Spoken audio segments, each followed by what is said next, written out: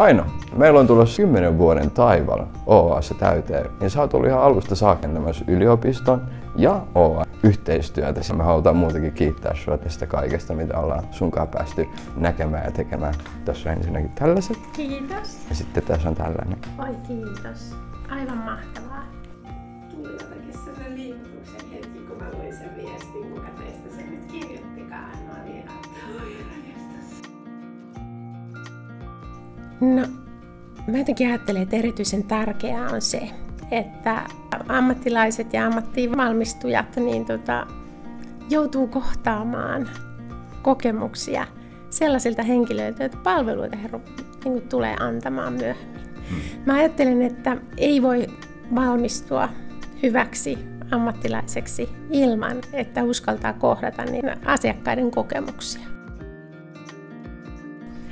Se on merkinnyt ihan valtavasti.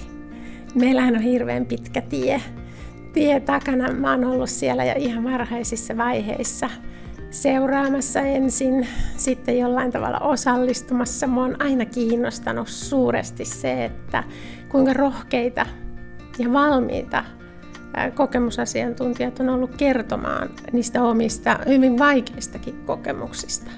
Totta kai ne on aina välillä herättänyt jopa suojelun tarvetta, mutta sitten vuosien varrella mä oon jotenkin oppinut siihen, että teidän kanssa työn tekeminen avaa aina jotain uutta.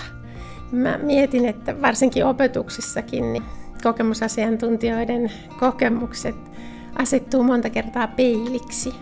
Eli et samalla kun sä kuuntelet heitä, niin tulee näkyväksi myös itselleen. Ja niin on käynyt mulle monta kertaa. Että, että kun me ollaan tehty yhteistyötä tai suunniteltu opetusta, niin tota, kyllä mä aina pääsen, mä sanon pääsen, en joudu, vaan pääsen niin kuin osalliseksi myös niiden omien tunteiden kanssa miettimään sitä, että mitä tässä oikein tapahtuu tai mitä nämä palvelut oikein on.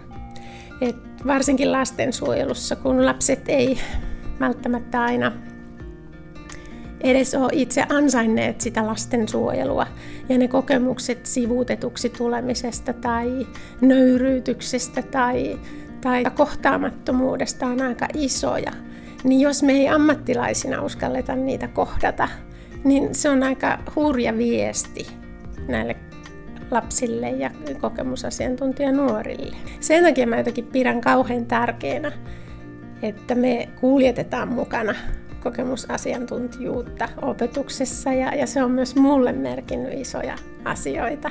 Ja mä oon aina iloissani. Siis nykyään se yhteistyö tuottaa mulle suurta iloa ja, ja tätä kehittymisen mahdollisuuksia, kun me päästään yhdessä luomaan niitä erilaisia näköaloja ja mahdollisuuksia. Että ne yhteisten kurssien kehittäminen, niin se on ollut ihan mahtavaa. Ja jotenkin sellainen luovuus, mikä aina syntyy siitä meidän yhteistyötä. Siitä mä oon tosi kiitollinen. Ihana.